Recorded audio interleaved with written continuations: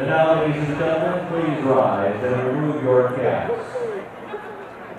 Join Courtney Frame as we honor America